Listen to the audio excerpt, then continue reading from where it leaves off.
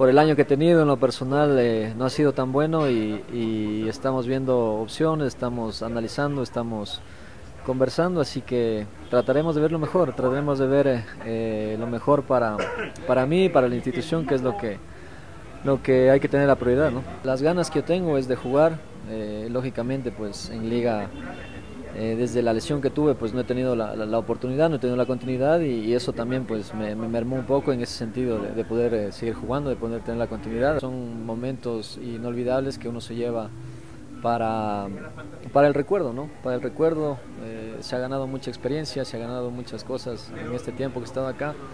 Estoy totalmente agradecido con la institución, con la hinchada, con, con, don Rodrigo, con don Esteban.